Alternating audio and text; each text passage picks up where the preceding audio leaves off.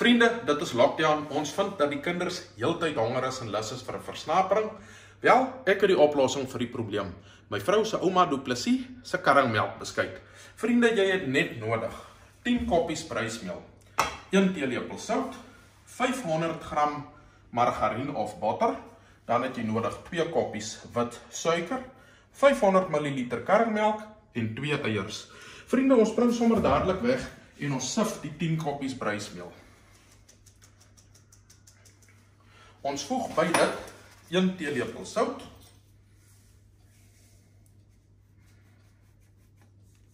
En vriende, wat ons nou gaan doen is ek gaan nou bietjies vir bietjies hierdie margarien in die botter in vrywe en sodra dit ingevryf is, dan sal ons die suiker byvoeg. Maar voorlopig sit ek eers die by en ek sal na julle toe terugkom sodra ek die suiker invoeg. Vriende, hierdie margarien is nou alles lekker in die meelmengsel ingevrywe. Nou kan ek my 2 koppies suiker byvoeg. Suiker is bygevoeg. Nou gaan ons dit net lekker deurmeng.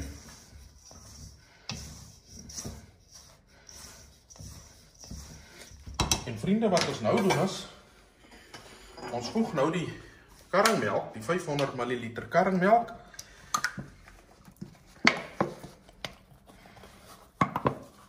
en die twee eiers.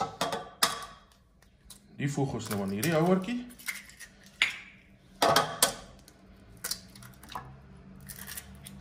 En ons klits dit lekker saam. Dit die eier en die karringmelk is nou goed gemeng. Uh wat ek nou gaan doen is ek gaan dit invoeg by die droë bestanddele. En vriende, baie belangrik. Ek sou sê los net so 'n klein bietjie oor waarmee jy nou na die tyd jou beskuit kan verf. Nou gaan ons hierdie alles meng. Dis goed om dit met jou hande te doen, vriende, want jy gaan sit met 'n stywe deeg en ek gaan dit nou net die hele tyd ordentlik met mekaar meng totdat ek 'n lekker deeg het. 'n Redelike slap deeg. Ek het hom nou geknie vir 'n geruime tyd en nadat ek hom geknie het, het ek hom in twee dele verdeel en ek het dit in twee oonplate gesit ongeveer 420 by 300 mm wyd. En vriende, ons druk hom nou net lekker plat in albei panne. En dit met deur my hande nat te maak, die deegie lekker egalig in hierdie oonpanne gesit, soos wat julle kan sien, dit lyk baie baie aantreklik. Hierdie oorblyfsel van eier en karringmelk, soos julle kan sien, vriende, is ek nou besig om gou-gou oor die deegie te verf. Dit gee 'n pragtige glansagtige bolaagie.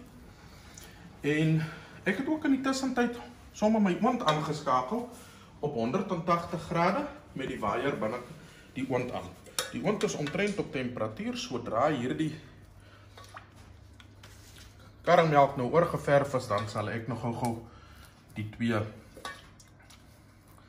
oondplate binne in die oond sit.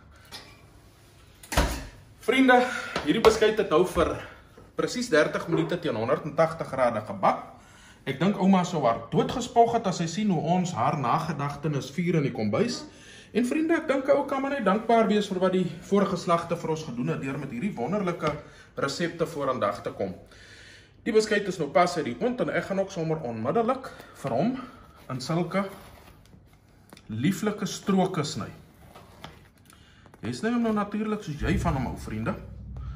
En ehm um, vir die video se onthaalwe gaan ek hom nou sommer in hierdie rigting ook sny. En vriende, wanneer jy nou jou hele pan so gesny het, dan laat koel jy hom net ordentlik af en dan sit jy hom doeteenvoudig vir 4 ure teen 100 grade Celsius in die oond om lekker te kan uitdroog. Vriende, ek is seker julle sal saamstem hierdie beskuit lyk fantasties. Ek gaan sommer onmiddellik eenetjie proe. Hulle is lieflik krakerig en bros. Mm. Mm. Mm.